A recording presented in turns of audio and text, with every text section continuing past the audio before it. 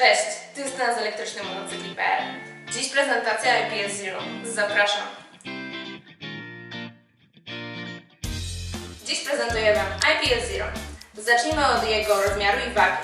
IPS Zero jest jednym z najmniejszych i najlżejszych kółek na rynku.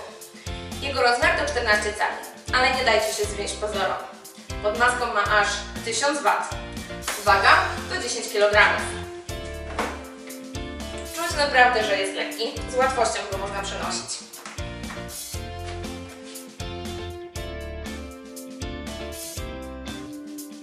Prędkość maksymalna to 30 km na godzinę.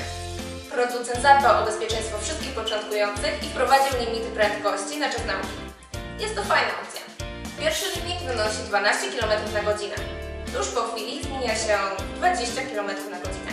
A po przejechaniu 50 km wszystkie limity zostają ściągnięte i możemy jechać maksymalną prędkością, czyli do 30 km na godzinę.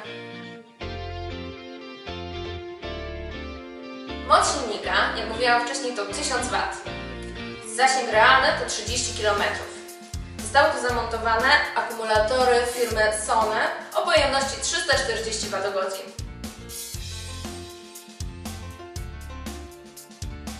Na budowie znajduje się tylko jeden przycisk. Odpowiada on za włączenie i wyłączenie naszego kółka. Wszystkie ustawienia możemy zmieniać na naszej aplikacji mobilnej. Podczas postoju kółko pokazuje nam stan baterii. Podczas jazdy kolory mogą się zmieniać, choć możemy ustawić funkcję lampy.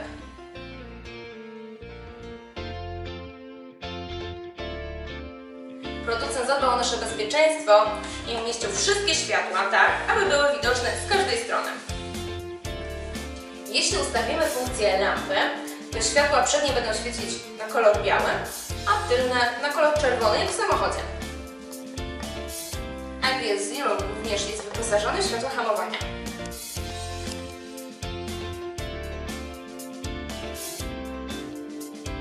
Pedały są magnetyczne, a tutaj jest ukryte gniazdo do ładowania. Unikalne w tym modelu jest to, że nie ma żadnych wystających elementów. Zobaczcie, jest tak mały, że mieści się w torbie bądź plecaku.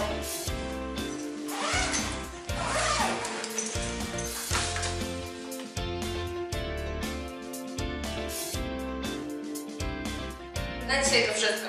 Zapraszam do obejrzenia moich innych filmów, w tym prezentacji aplikacji i mojej przejażdżki IPS Zero. Cześć!